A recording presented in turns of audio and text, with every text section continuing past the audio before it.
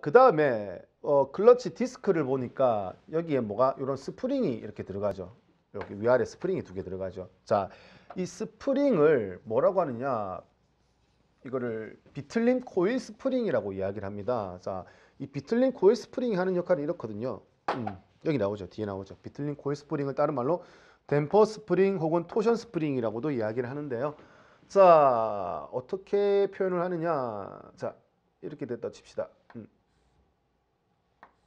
음. 스프링이 한쪽 면이 있고 이쪽 면이 양쪽 면이 있겠죠. 양쪽 받치는 면이 내부에 있을 거예요.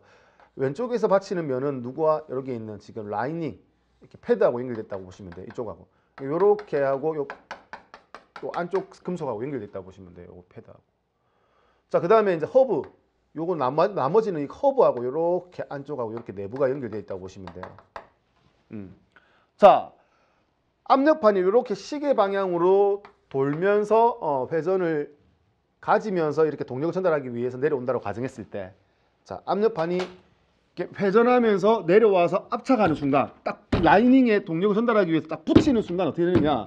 자 가운데 있는 허브는 변속기 입력축이 걸렸기 때문에 이 변속기 입력축과 바퀴가 같이 물려 있어요. 그러면은 변속기 입력축은 잘 안 돌려고 할 거예요. 차체 하중을 받고 있기 때문에 얘는 안 돌려고 하는 상황에서 압력판이 들어오면서 마찰을 일으키려고 하잖아. 그러면 된다? 얘는 돌려고 하고 얘는 가만히 축은 가만히 서려고 하니까 오른쪽은 가만히 있고 왼쪽은 오른쪽으로 움직이면서 어떻게 된다? 스프링을 압착하는 방향으로 들어온다는 얘기죠. 회전하면서.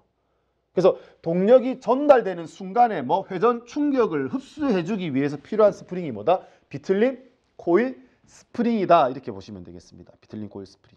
그래서 클러치 디스크에는 이런 비틀림 코일 스프링이 있고요. 자, 그 다음에 얘이 판을 갖다가 옆으로 돌렸을 때 세로로 보시게 되면 아까 판과 판을 두 개를 맞댔다 했잖아요. 자, 이 판과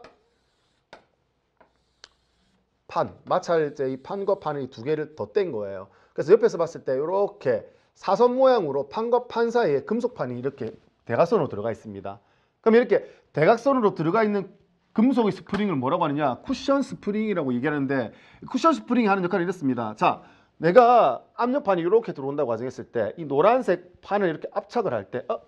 이쪽에서 할까요? 이쪽에서 합시다. 여기 플라이 여기 압력판.